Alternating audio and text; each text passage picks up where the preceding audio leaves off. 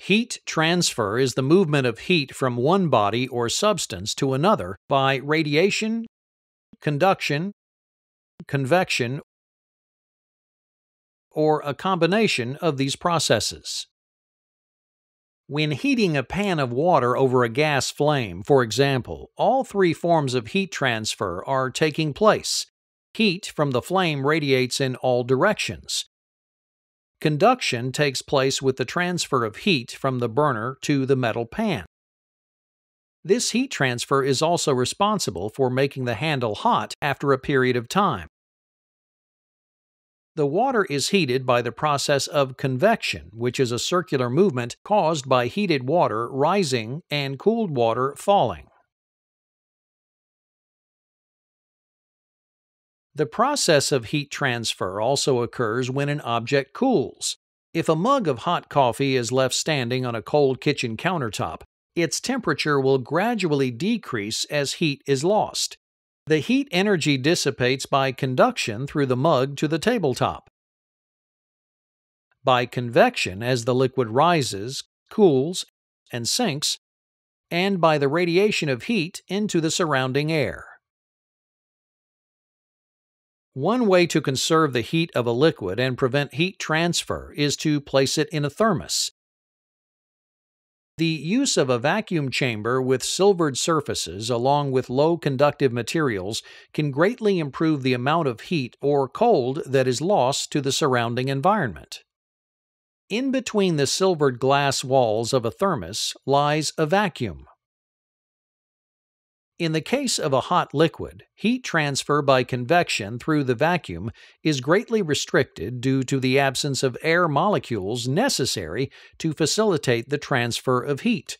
The lack of physical contact between the inside and outside walls of the thermos due to this airless space also greatly inhibits the movement of heat by conduction.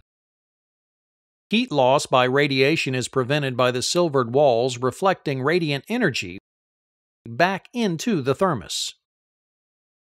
Some conduction of heat through the stopper and glass can be expected, but this too is limited because they are made of materials with very low conductivity.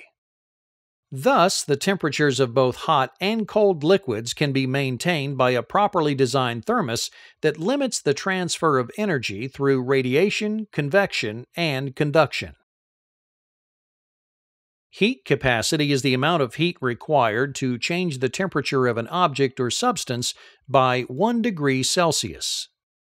The heat capacity of water varies depending on its phase.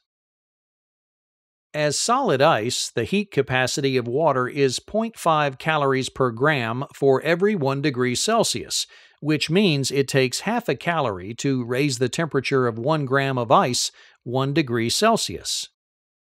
As a liquid, water's heat capacity is 1 calorie per gram for every 1 degree Celsius, so it takes 1 calorie of heat energy to raise 1 gram of water 1 degree Celsius. The processes of phase change between solid, liquid, and gas also require a specific amount of heat energy. The amount of energy required to change a liquid into a solid or a solid into a liquid is known as heat of fusion. The amount of heat required to change 1 gram of ice to water is 80 calories. Similarly, the heat of vaporization is the energy required to transform a liquid into a gas. It requires 540 calories to change 1 gram of liquid water into a gas. With these values, it's easy to calculate exactly how many calories of heat energy are required to transform 1 gram of ice at absolute zero to steam. To warm 1 gram of ice from minus 273 degrees Celsius to 0 degrees Celsius would be 273 times 0.5 gram per calorie, or about 140 calories. The phase change of 1 gram of ice to liquid water requires 80 calories. Then, to heat the water from 0 degrees Celsius to 100 degrees Celsius with a heat capacity of 1 calorie per gram would require 100 calories. The final phase change of 1 gram of boiling water to steam would require an additional 540 calories. Adding all of these values together yields 860 calories, the amount of heat energy it takes to transform 1 gram of ice at absolute zero to steam.